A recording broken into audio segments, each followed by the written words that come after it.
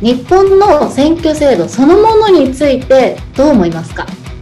まあ、一個思うのは、ドカンと動かせない漬物石があるみたいな感じで、変化が生まれにくい仕組みなんだろうなとは思いますよね。インターネットとか、なんかソーシャルメディアとかが出てきて、選挙とか政治がいろんな国ですごい変わったってことになってるじゃないですか。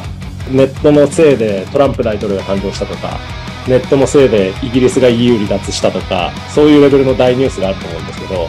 日本の場合ってそこまでネットが大きな影響を選挙とか政治にもたらしてないと思うんですよね。なんかインターネットを使って有権者をうまくターゲットした広告を出すとか、有権者の行動を誘導するみたいなことが、ちょっとしにくいような仕組みになってたりするんですよね。ネットみたいな新しい力よりは、例えば自民党とかが持ってるような昔ながらの地方組織とか、会社の中での労働組合っぽい仕組みとか、そういう昔ながらの昭和っぽい仕組みの方が未だに力を持ってるみたいなのが、